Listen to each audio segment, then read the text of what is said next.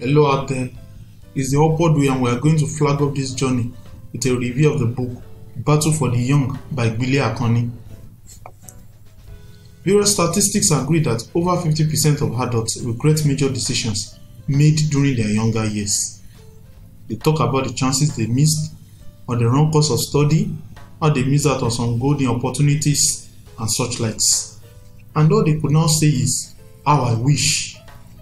Gary Vaynerchuk shared his personal statistics that the number of people who start their so-called life action point with the word I wish are outrageous. But the focus of the book is not for the wishes. It's not for those who seem locked up in the regret of their past. The book is targeted at the young ones who are out there saying, I want to make something out of my life. For everybody in this category, you have to know that there is a battle for your life. Drawing his basis from the first letter of Apostle John, the author highlights three phases of life peculiar to human beings.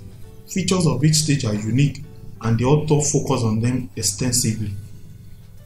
The phase of the little children is that stage in life when you are taken everywhere by your parents or guardians, as the case may be. You were taught everything, and unawares to you, you are being indoctrinated into the belief system of the society, your culture, and your generation. This stage is a period of utmost dependence, and the little children blindly believe mom, dad, and the mentor figures as the big ones who can never be wrong or lead them astray. The second phase identified was the stage of fatherhood. This is the stage in which your life has been lived. All that concerns you are done and dusted, and people in this phase can only look back in retrospect on the choices they have made, the stuff they've been through, their lots in life, and so on. Most people at this stage of life are characterized as dreamers of the past. They like to talk about the good old days, the places they've been, the battles they've won, the glories of years past, the mistakes they've made, and so on. The third phase identified was tagged the young ones. These are the visionaries because they have their whole lives before them. They are energetic, they are vibrant, they are resourceful and dynamic. Interestingly, the phase typically starts by the young man questioning all he had been taught in his growing years. He is inquisitive, he is adventurous, he wants to be independent, and he just wants to do things his own way. These are the formative years in which choices are made that will bear long lasting effects on each one of us.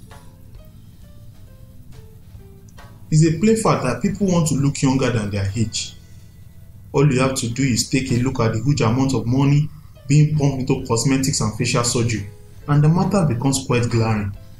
Pop stars, movie actors, actresses, footballers, athletes, and even politicians are all jostling to keep the good looks as much as possible. But you know what? Time travel remains fictional. You can only be young once in your lifetime. And as much as you love the memory of that sweet 21st birthday, you cannot be 21 again. Maybe you are cherishing the memory of your teenage years. It remains nothing but a memory. It is gone and gone for good. So, if you are still young, congrats. You've got to enjoy it while it lasts. But while you are enjoying it, you need to understand the key issues peculiar to this stage of your life. And one of the issues is the fact that the time of youth is a period of making choices. Choices that will mark your life for greatness and glory, or choices that will predispose you to perpetual defeat and failure. You lay the foundation for every aspect of your future life in the youthful days.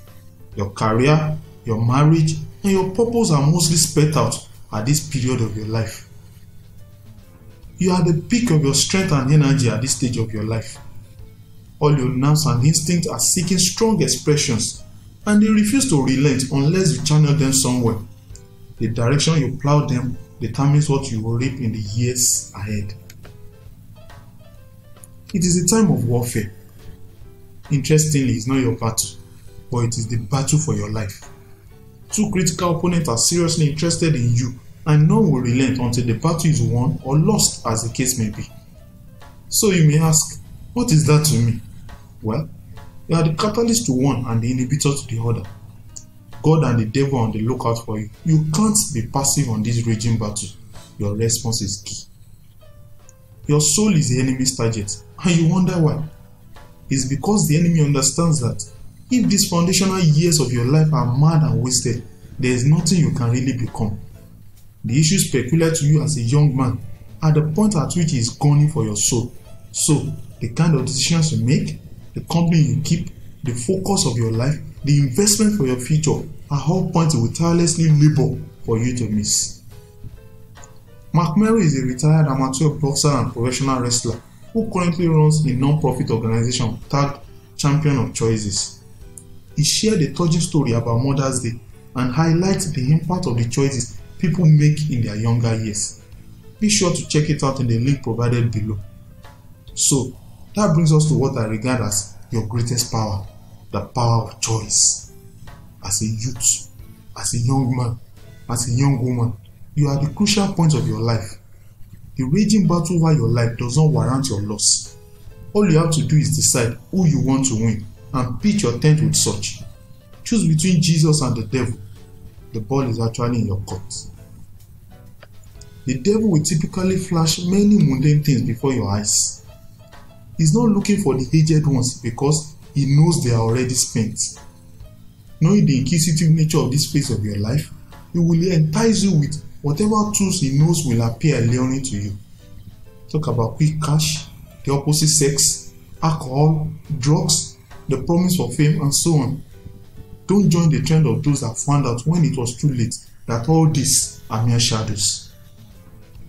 Jentezen Franklin in his powerful message, Warning Signs, elaborated on the tactics of the devil to make sure your future is totally jettisoned even while you are young. This review is adding to the list of timely warnings that you can make the best out of your life. Be sure to check out the message with a splendid stage drama in the link provided below. Your response today determines the future. Today, the testimonies of the heroes of faith continue to challenge us, but you know what? Their time is gone. This is your time. They have served the Lord in their own generation. This is your generation. This is your time. The warfare over you rages on is called the battle for the young. I wonder what your response will be. The choice is yours.